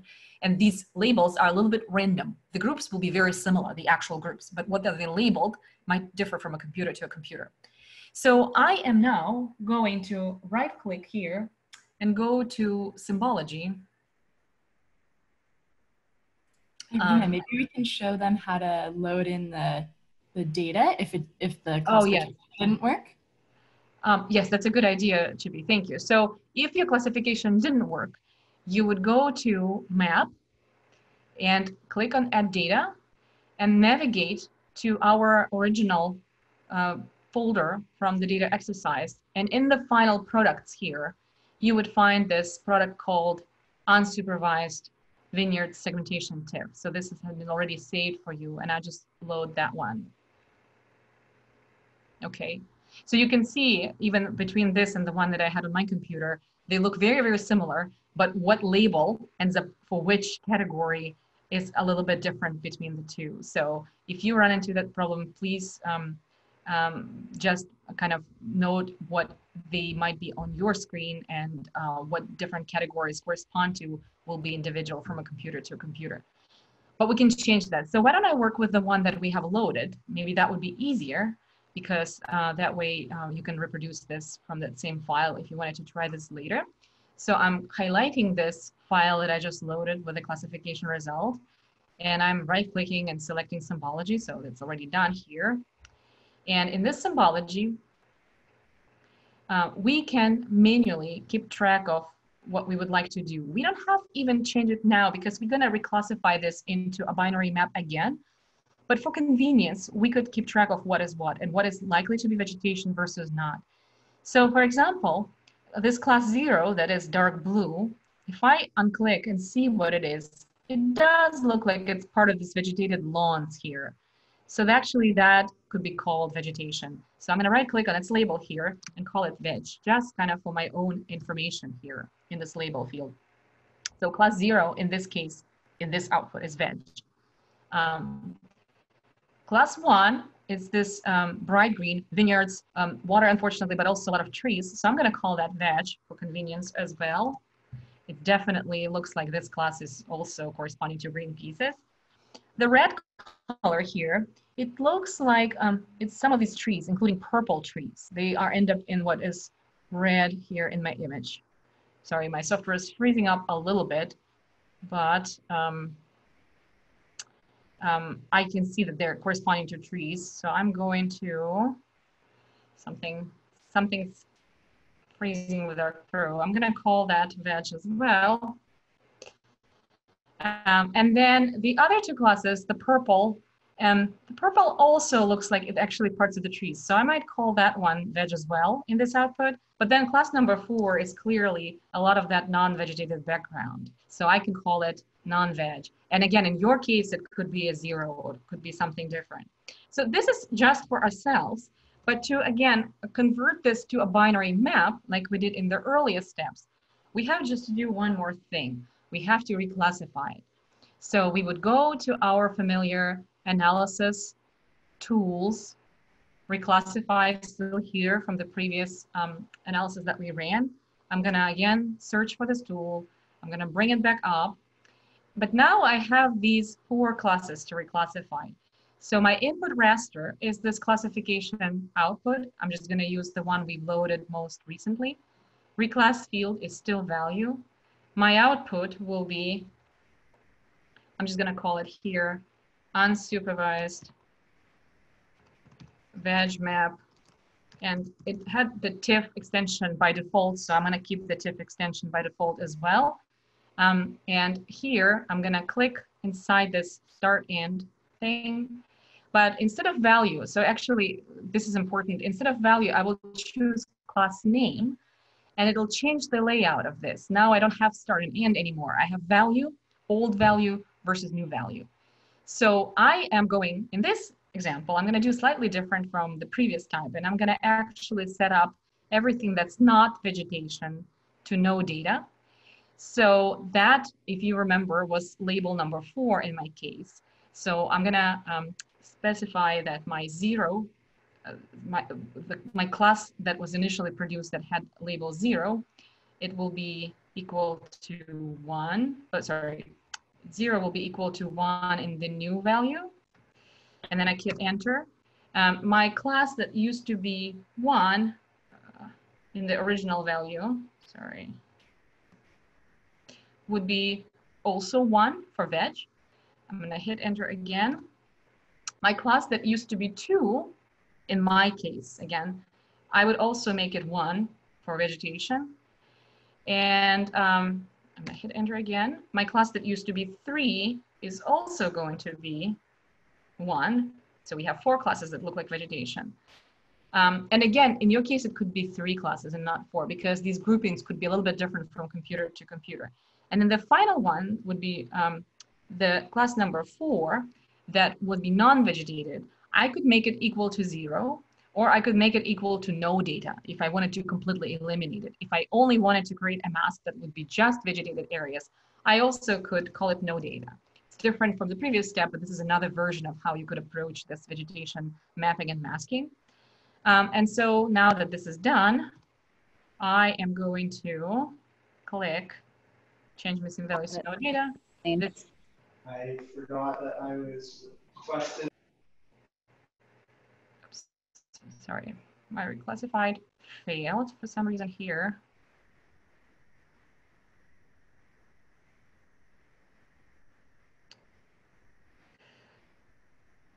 Okay, something didn't quite run here. So I'm, what if I try my, this one to zero, just to be safe? Okay, no. So I'm, sorry, everyone, I'm having yeah. It worked when I ran it through my um, geodatabase. I don't know if that'll change your output. Uh, if you save it outside of your geodatabase?